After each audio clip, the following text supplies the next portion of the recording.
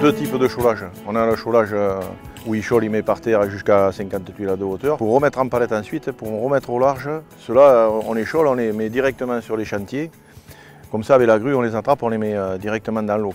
Et on met la chaux vive morte, préalablement, dans des grands bacs avec de l'eau et du sable ça fait un mortier de chaux quoi. Donc euh, après ces huîtres se collent dessous et dessus. Comme elles sont collées sur la chaux, avec des couteaux et des machines, on gratte la chaux vive et on ne tue pas les huîtres. Parce que si elles viendraient se coller sur la tuile, l'huître, on ne pourrait pas les décoller quoi. Donc euh, on les tuerait quoi. Voilà. La chaux ça sert à ça.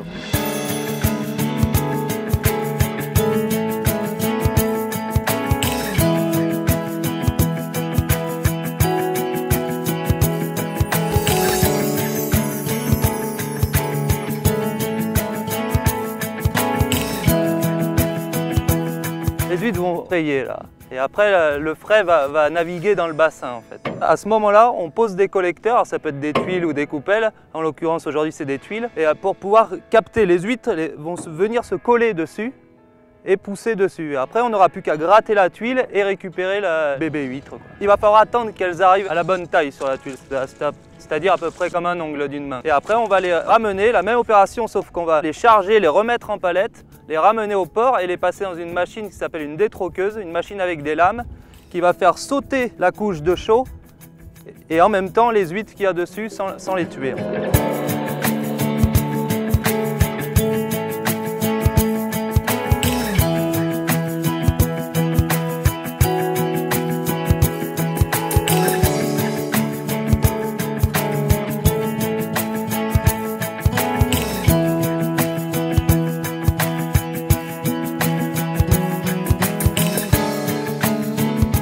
Septembre, c'est le période un peu où on fait de l'entretien et on commence un peu à, calibrer les huîtres, tout ça en préparation un peu de, Noël déjà. Tout se fait sur le bassin, on fait partie des centres français où on a la chance d'avoir euh, la naissance qui se fait au cœur même du bassin et où on peut travailler les huîtres. Au bout de trois ans, on fait naître l'huître, on l'élève et au bout de trois ans, on vous l'amène sur l'assiette.